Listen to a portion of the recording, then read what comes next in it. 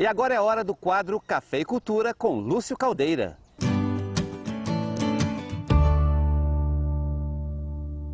Ao longo da história do café, a bebida tornou-se também um ingrediente de drinks.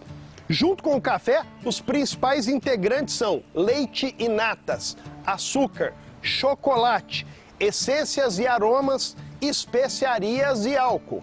As bebidas não alcoólicas quentes mais famosas desenvolvidas ao longo dos tempos foram o café latte ou café com leite, muito comum no Brasil, na Itália e na França, o cappuccino, invenção dos italianos, que acrescenta chocolate ou cacau em pó em cima ali do leite ou da espuma de leite, e o café moca, que mistura um terço de café expresso, um terço de leite fervido e um terço de chocolate quente. Enfim, é isso.